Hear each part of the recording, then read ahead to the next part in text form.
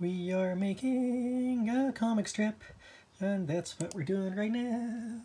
We also got some patches attached to the backpack now. We've also fixed something that's been on the page for ages.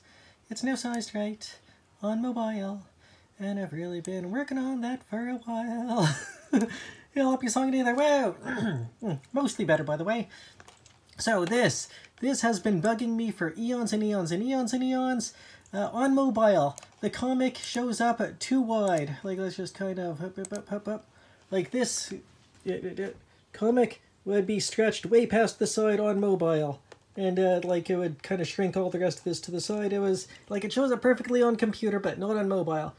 So, I have discovered, like, putting in uh, this uh, width equals 100% just normally would kind of stretch the comic to the entire size of the page. But, we, uh, are, like, putting it inside of a table. For some reason, just makes it to be, uh, like, full size, like just regular full size. So, it shows up regularly on all screens that are, uh, you know, where it actually fits inside of there. And on mobile or any other screen where it's, uh, like, would be too big for it, it shrinks it down to the full size of the screen, so it doesn't, like, resize all of this and stuff. So that's all kinds of awesome. So I've went and updated, like, 1,300 some odd files, HTML files to add this table code inside of here.